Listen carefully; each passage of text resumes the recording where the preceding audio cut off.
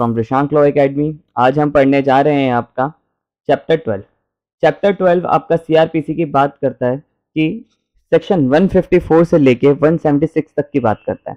अब ये 154 176 आप मान लीजिए सीआरपीसी का सोल यानी कि आपका सबसे इंपॉर्टेंट मोस्ट इंपॉर्टेंट जैसे अगर आईपीसी की बात करें तो आईपीसी में मर्डर और कल्पेबल होमोसाइड जैसे इंपॉर्टेंट है, वैसे ही मान लीजिए 154 चैप्टर 12 आपका बहुत इंपॉर्टेंट जिसमें सेक्शंस आते हैं 154 से 176 तक।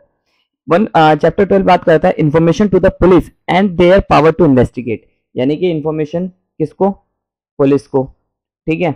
और दूसरी बात ये करता है पुलिस की आपको पुलिस को इन्फॉर्मेशन देना, दूसरी बात करता है आपका कि इन्वेस्टिगेट करने का।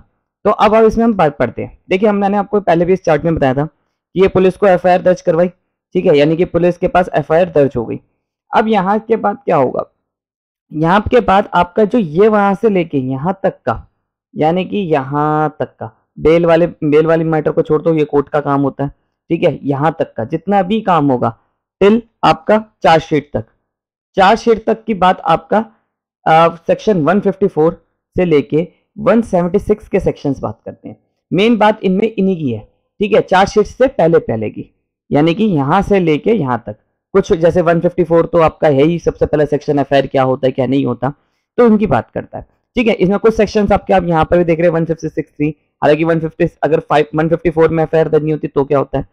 एफआईआर जो होती है वो कॉग्नेजेबल केसेस के लिए होती है।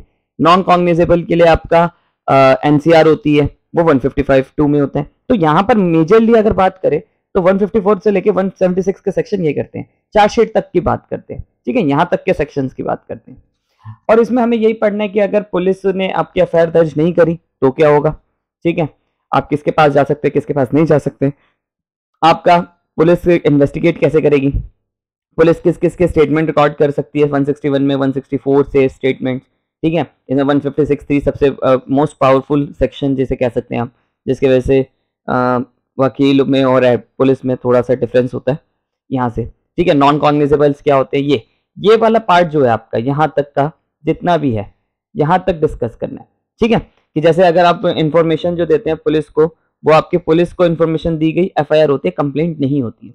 तो हमें यह सब पढ़ना है। ठीक है? हम इसे नेक्स्ट क्लास में वन सेक्शन 154 से शुरू करेंगे।